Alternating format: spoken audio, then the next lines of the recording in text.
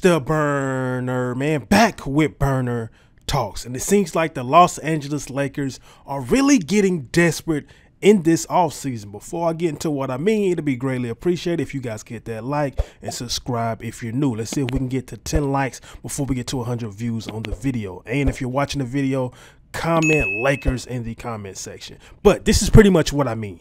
The Los Angeles Lakers are expected to try to sign Chris Paul this offseason. When I first look at this, I had to look and see is Chris Paul even a free agent? And the answer is no.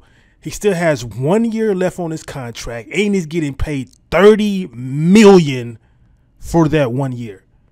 Is he worth that? Y'all let me know in the comment section. Me personally, I love Chris Paul. He's a generational talent, one of, one of the best point guards to ever play this game. But at this point in his career, damn near 40, he's not worth even half of that. He gets injured a lot.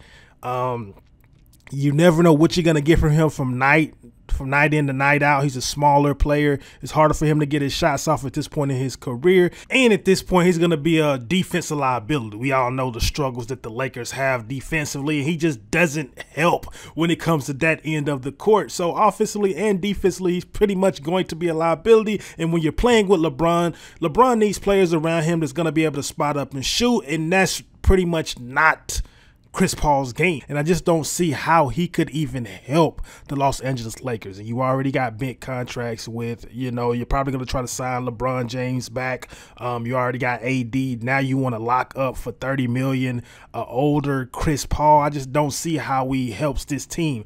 Um, and I know Rob has done a great job, but lately he is, he's been trying to get all these big names instead of trying to fill out the roster with what they need. Last year they went and got Dinwiddie. I made a video when they first signed him on how he didn't fit that team, and people said I was wrong for that. And this is the same thing with Chris Paul. He does, he just doesn't fit that team, bro. They they got bigger needs than going out here and getting Chris Paul. He's probably only gonna play twenty to thirty games and probably gonna be hurt if they make it if they make it to the playoffs.